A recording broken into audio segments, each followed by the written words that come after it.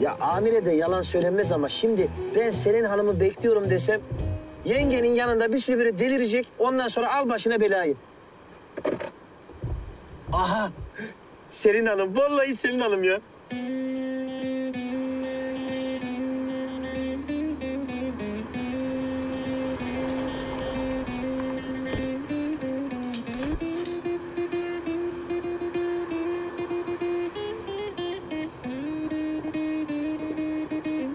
Günler Selin Hanım.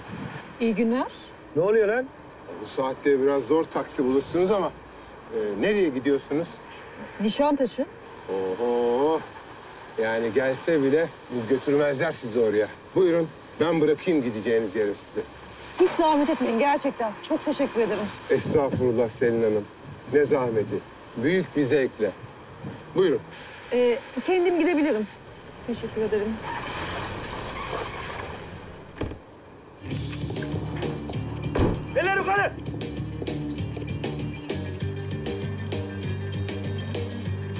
Oho.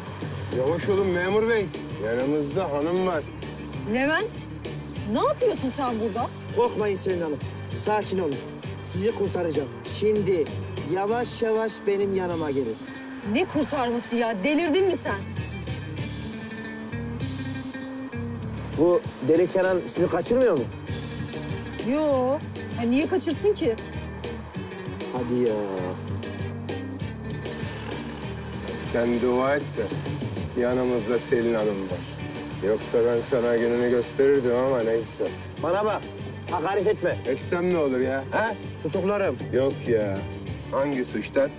Görev başında memura hakaretten, aynı zamanda kamu malına zarar vermekten ve Selin Hanım'ın karşısında ileri geri konuşup kostaklanmaktan. Aa, nasıl tutukluyorum şu an? Oğlum, sen Selin Hanım'ı gideceği yere kadar götür. Selin Hanım, siz de çabucak eve gidin, hemen beni arayın. Hava soğuk, çok fazla oyalanmayın. Hadi bak. Sonra da emniyete gelin de şu paçosun icabına bakayım bir. Hala hakaret ediyor ya. Yürü, yürü. Yine. Allah'ım ya.